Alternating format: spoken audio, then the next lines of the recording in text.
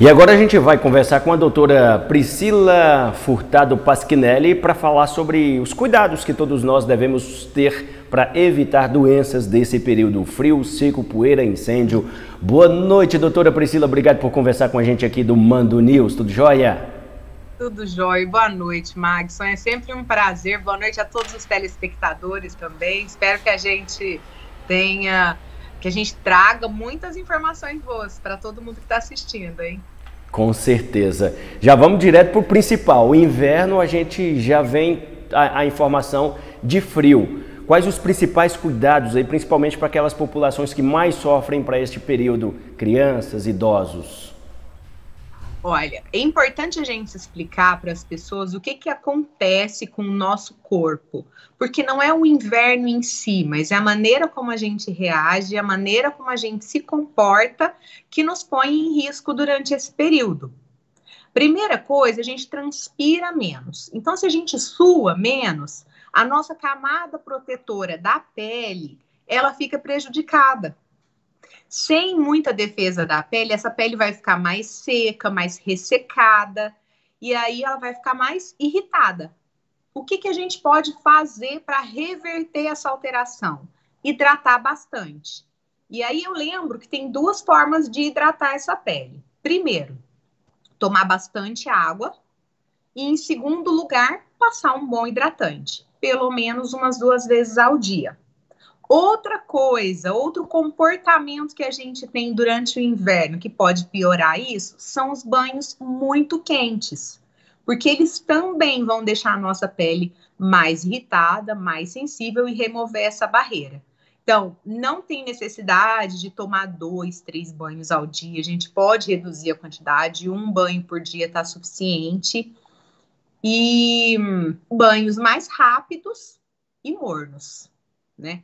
Agora, outra alteração importante, outra questão importante que acontece durante o inverno é o aumento expressivo, um aumento muito significativo das infecções respiratórias, das gripes, dos resfriados e até mesmo das pneumonias. As alergias também, né, as rinites, as sinusites.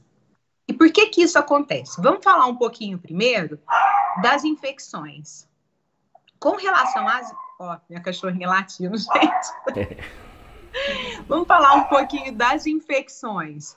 As infecções, a gente vai ter uma maior transmissibilidade e às vezes até uma queda da imunidade, principalmente nessas populações as crianças ou os idosos. Por quê? Porque eles são mais frágeis, o sistema imune ainda está em desenvolvimento, no caso das crianças, e no caso dos idosos, ele muitas vezes já vai estar tá enfraquecido pela própria idade.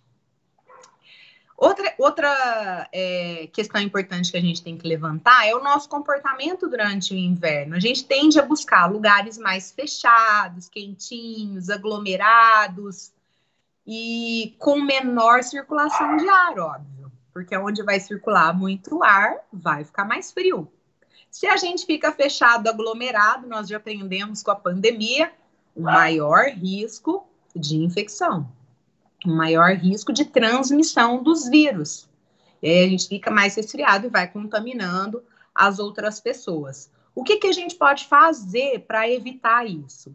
Então, deixar circular o ar, abrir as janelas, evitar esses lugares com muita gente, principalmente para essas populações mais vulneráveis, os bebês ainda mais abaixo de dois meses, que ainda não tomaram a vacina, e para os idosos ou as pessoas imunocomprometidas. Com relação à imunidade, é importante a gente entender que no inverno a gente vai ter uma menor exposição ao sol. Se a gente se expõe menos ao sol, menos vitamina D, uma piora da imunidade, uma maior chance também de infecção. Então, a gente tem que ficar atento para essa questão da suplementação ou se programar para tomar ali uns 5, 10 minutinhos de sol por dia, e isso também vai ajudar. E com relação às. Oi? Pode, pode continuar, doutora. E com relação às alergias respiratórias, então, por exemplo, rinite, sinusite. Agora que vai entrar o inverno, a gente começa a tirar os cobertores, as blusas de lã, os, os cachecóis, e tudo isso ficou guardado muito tempo. Fica empoeirado, fica cheio de ácaros. E aí imagina, a nossa mucosa, o tempo, o clima fica com ar seco. O ar seco é mais irritativo. A gente tem uma menor, uma menor umidade nas nossas mucosas, então já está mais fácil de ficar irritado. E aí, com esse monte de ácaros e de poeira que são irritativos, vai aumentar a chance de desenvolver esses quadros. Algumas coisas simples a gente pode fazer: colocar essas roupas ao sol, tirar a poeira antes de usar, às vezes até lavar. Isso é importante, principalmente os cobertores, o que é cheio de lã, evitar os é, tapetes, cortinas, bichinhos de pelúcia, livros também, tudo que fica muito guardado, que pode juntar essas poeiras, vai facilitar as pessoas, vai propiciar um desenvolvimento desses quadros, né? E aí é isso, fica espirrando, com o nariz escorrendo, né, congestionado. E a gente não pode deixar de lembrar, gente, da importância das vacinas, né? Que é uma. É, não podemos esquecer disso, porque às vezes as pessoas criam aquelas ideias. Eu ouço muito isso dentro do consultório. Doutor, mas eu tomei a vacina e fiquei gripado. E aí não quer tomar mais a vacina. Ou então ouve falar que a vacina faz mal. A vacina contra a gripe é muito antiga. E ela é feita de vírus inativado. Então, esse vírus não vai ser capaz de causar uma gripe. Só que a vacina ela vai levar em torno de umas duas a três semanas para fazer efeito. E aí, o que, que acontece? Nesse período, muitas vezes, as pessoas já estavam até num período de incubação de um resfriado e desenvolvem aquele quadro respiratório, fazem a associação com a vacina e acham que foi a vacina. Mas a vacina é de extrema importância. Por quê? Imagina, gente, se com tudo isso a gente tem uma chance maior de ficar gripado, automaticamente a gente tem uma chance maior também de complicações, de evoluir para uma pneumonia, de desenvolver quadros assim. E a, a vacina, ela vai nos proteger dessas complicações ela é muito eficaz nesse sentido de evitar que se desenvolvam quadros mais graves, é, evitar morte por complicações e, e até mesmo reduzir o número de internações. Então, é importante, não deixem de vacinar. Doutora Priscila, importantes dicas aí para cuidado de todos nós realmente nesse período de inverno. Uma que a senhora estava comentando aí, a questão da ação dos vírus e até o que disse a meteorologista anteriormente sobre a previsão do tempo, essa diferença da temperatura, né? Às vezes as madrugadas, as manhãs são bem geladas, mas no período da tarde temos temperatura acima dos 25 graus. Isso propicia que o vírus fique meio louco aí, sem saber para onde vai, né? acho que nem em relação ao vírus, mas a gente precisa pensar também no nosso corpo. Você sabe que essas mudanças bruscas de temperatura, súbitas e frequentes, elas têm um impacto negativo sobre a nossa imunidade também. Então, uma, ó, isso agora você acabou de falar, eu falei, gente, olha que coisa importante que às vezes eu não falo.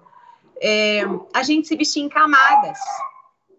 Então, você põe uma roupinha mais leve por baixo, uma roupinha de algodão, e aí depois você põe um malão, um casaco, porque ao longo do dia você vai tirando as camadas, à medida que vai esfriando, a gente vai colocando as camadas de novo, né? Tipo uma cebola, assim.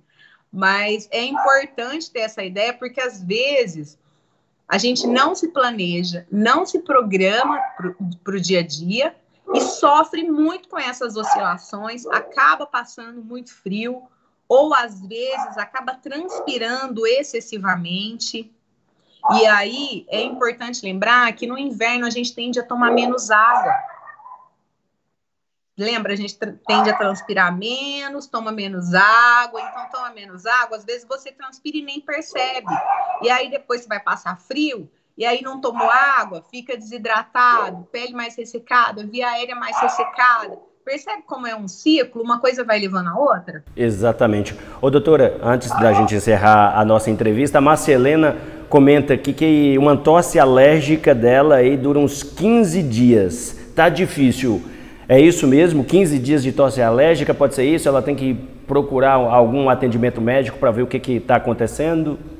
Olha, se for só tosse, já é algo antigo, tem certeza que é uma tosse alérgica, alguém já avaliou, pode durar às vezes até mais, né? Então, a gente precisa investigar qual que é o motivo dessa tosse. Mas algumas coisas a gente já pode fazer, inclusive para evitar. Gente, percebam é, ao longo do inverno, percebam como às vezes a gente acorda de manhã com a mucosa seca, com a garganta seca o ar tá seco, às vezes a gente liga ar-condicionado, aquecedor, isso resseca ainda mais. Então, coisas fáceis que a gente pode pôr no nosso dia a dia. Deixar uma toalha úmida perto ou uma bacia com água para ajudar a umidificar o ar. Tomar bastante água, usar um sorinho fisiológico nas vias aéreas. Isso já faz muita diferença. É no pequeno que a gente, são nas pequenas coisas do dia a dia que a gente vai fazendo com frequência que a gente consegue proteger. Outra coisa, alergia, né? A alergia foi tudo que eu falei, da poeira, dos ácaros. Então, deixar a luz entrar no quarto durante o dia, o sol bate, isso ajuda a melhorar a qualidade do ambiente, deixa o ar ventilar para não ficar aquele ar fechado, aquele quarto fechado. São coisas muito simples e que dão muito resultado.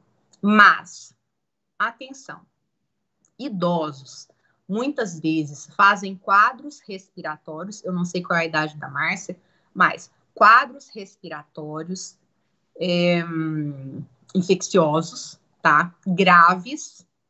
Por quê? Porque a gente não pensa que pode ser uma infecção. Então, nem sempre, por exemplo, uma pessoa vai ter uma pneumonia, nem sempre ele vai ter febre, o idoso. E aí, sem a febre, às vezes a pessoa vai deixando, vai tomando um remedinho ali e demora muito a ir ao médico. Então, é importante lembrar que existem outros sinais e que a gente tem que ter atenção a isso. Cansaço excessivo, um cansaço que não tinha antes, começou a ficar muito cansado. Quando começa a ficar confuso, quando começa a ter alguma alteração de comportamento, ela não se comportava assim, o que está acontecendo? Percebeu alguma coisa estranha desse tipo? É, sonolência excessiva, está dormindo demais, de uma maneira incomum. Percebeu esse tipo de comportamento no idoso e às vezes tem uma tocinha, só alguma coisa leve, leva ao médico para descartar um quadro infeccioso, tá? Porque é muito frequente a gente ver quadros que complicam, porque a gente não imagina que aquilo possa ser uma infecção, uma pneumonia, tá? É, tem que se cuidar. O doutor, é um assunto importante e falar de saúde é importante todo dia, sempre, e a gente a, a, estendeu já um pouco aqui a nossa entrevista, mas a gente vai voltar a conversar mais com a senhora durante outros assuntos também. Senhora que pode falar de vários e diversos assuntos quem sempre está abordando os assuntos aí no seu, nas suas redes sociais, Médica da Vida, a rede social aí da doutora Priscila Furtado Pasquinelli. Doutora, a gente agradece demais esse bate-papo aqui, essas dicas para a gente se cuidar bastante nesse período. Obrigado, viu, doutora? Obrigada a você. Boa noite a todos. Boa noite, doutora.